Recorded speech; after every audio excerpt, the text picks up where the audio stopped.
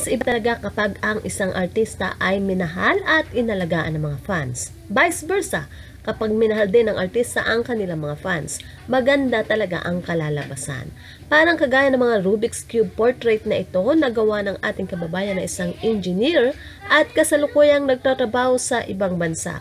Ginawa niya ng Rubik's portrait photo ang mga kilalang celebrities. Pero hindi lahat ay libo ang views or like. Tanging ang maraming lang fans ang talagang nag-stand out sa views at like. Ilan sa mga artist na, na ito ay sinas Catherine Bernardo, Daniel Padilla, Alden Richard, Maine Mendoza.